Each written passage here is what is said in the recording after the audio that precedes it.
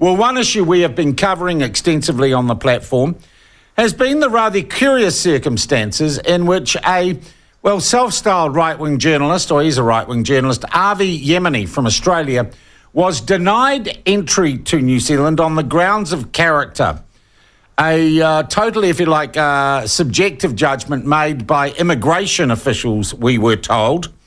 But it has since emerged that uh, New Zealand police had simply deemed Mr. Yemini following a less than flattering article in the Herald without a byline, have deemed him as someone they did not want in New Zealand. And as a result, they went searching for reasons not to let him into this country, to, to demand he needed a visa, and then say he didn't meet the character requirements for a visa.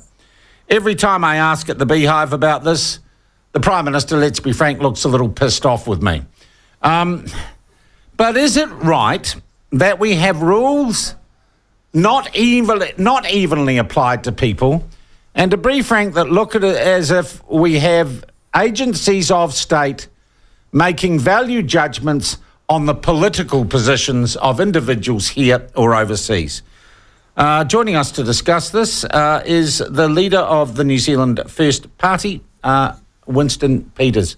Mr. Peters, welcome uh, to the program. I know the mainstream media aren't interested in this story, but it would seem to me a very fundamental principle at stake here. Well, they should be interested in the story because it began with them. David Fisher is in the mainstream media, as you know, and they're not asking the right questions or they're failing to persist with questions that should be asked. There's no way, as the Prime Minister said, that she learned from this in the public domain.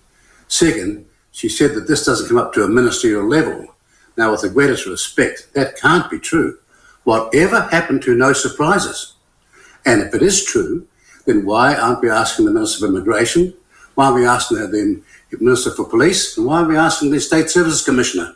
What's going on here, you guys? Mm. Uh, because in the end, they have, they have to know, and they have to have told the Prime Minister when not when there's a breach of the regulations and rules, but when they themselves have wantonly breached the rules to stop someone coming in.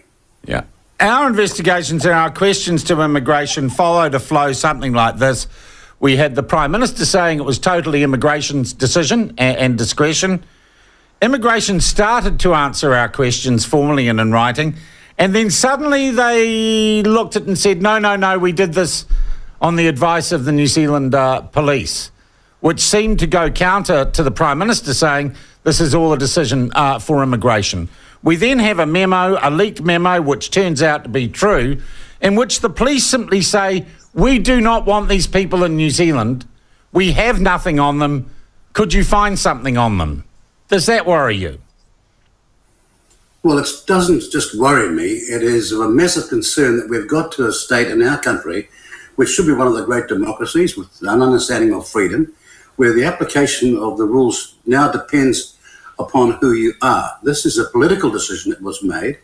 And if the person's background was of a character to rule him out, then I would say, why is Mr. Mallard being allowed to go to Ireland as one of our uh, high commissioners? Because it's that, uh, uh ambassadors. Because it's the same rule, isn't it? These sorts of uh, anomalies and indiscretions on the part of the government can't go on, but it's a mess. Mm. And it's not being something confessed or owned up to because the nature of parliamentary questions put by the media is to ensure that the system is honest and, and is accountable. And if you can be deceptive and get away with all sorts of uh, uh, roadblocks and deviations in your answer, then there's no accountability, and the whole thing's a waste of time. Yeah. Does this mean necessarily, Mr. Peters, that you think uh, Mr. Avi Yemini is the finest person, human being who ever walked the planet? Uh, most definitely doesn't mean that. That's not the point. The reality is he is being uh, maligned and defamed on the basis of judgment. Now, I'll tell you, I think that David Fisher is, on the whole, a very good journalist. But what happened here was the story starts off and then goes into a whole lot of what you might call unproven allegations. Why was Interpol involved? Why hasn't the police minister uh, or the head of the police explained what went on here? Because if they can do that to somebody who's, after all, from Australia, our nearest neighbour and friend, then they can do it to you as well. And that's where the the uh, rub sets in this country. Mm. Yet it seems to me strange. We look at this guy, what's his name, Karl Schroebrecht, a guy who imports drugs into this country, and we don't deport him. I read a case in the papers last week, a 51 year old Fijian man who was convicted of domestic violence against his wife and pulled a knife on her and held it to her throat. And we're not deporting him back to Fiji. It certainly seems there is no consistency on these issues. Well, it's worse than that. Uh, but you're talking about a uh, current situation where the idea that uh, being soft on law and order somehow works. It doesn't work. It just encourages others to repeat the kind of offences that society has outlawed. Yeah. Um, I'll be honest, uh, Winston Peters, as a journalist, I can only ask so many questions before you hit uh, the brick wall. And it would seem to be the government is, is sh- shutting up shop on this issue. Got any ideas on where we go next on it? I'm sorry, Mr. Plunket. What's going on here is something far more malignant than that. We used to have a thing called the Fourth Estate, keeping the political system, be it local or central government, with all its flaws, accountable. It no longer happens. The mainstream media, as you know, has been corrupted. They've been bought off. They're not asking the real questions any longer. This is actually a serious road to what I might call perdition when it comes to a democracy and freedom. The Fourth Estate's not doing its job. Uh, and day after day, I hear them start something or um, not fail to ask the most honest and, and automatic questions. Prime Minister, if you're right, then what happened to the no surprises rule mm. that you keep on talking about? Prime Minister, why is the Minister of Immigration, the Minister of Peace, and the, the State Service Commissioner being called in to ask what went wrong here? But you're getting no answers at all. Now, it's not so serious. It's just a, a tragedy for someone's freedom who is a journalist. And after all, you don't really want to muck around with the journalists and political uh, and media freedom. Mm. But that's been happening ever since they walked in and gave them $55 million and bought their soul. I'm sorry to say that because, in the end, whether you like journalists or not, a free media, an accountable media, is critical to a free society. Mm. On that, Mr. Peters, you will not be uh, unaware, um, as I know you keep an eye on such things, of a trend currently in our media to go around, and I've used the term witch hunting local body candidates or indeed school board candidates who might hold views or be associated with organisations loosely um, described as anti vax or anti mandate or vaccine sceptical. It would seem, in particular, the Stuff organisation is literally daily publishing lists of people that it considers to be inappropriate candidates in, in local bodies.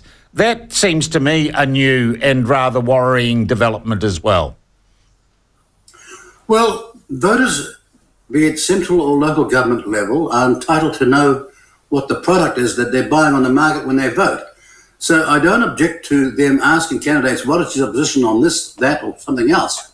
What I do object to is they're focusing on the far, on the right or the far right and doing nothing about the pinko communist left. That's oh. where it's unbalanced.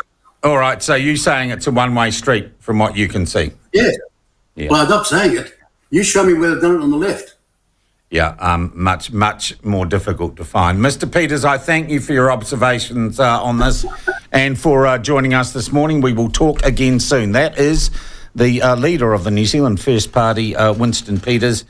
And I got to say, I've been wondering as a lone voice on this story whether or not I just had it wrong and I was missing something and I should just go and buy a lotto ticket. It is nice to get someone else with some political um, experience who also is deeply concerned, deeply concerned about the Avi Yemini uh, story and what has transpired there.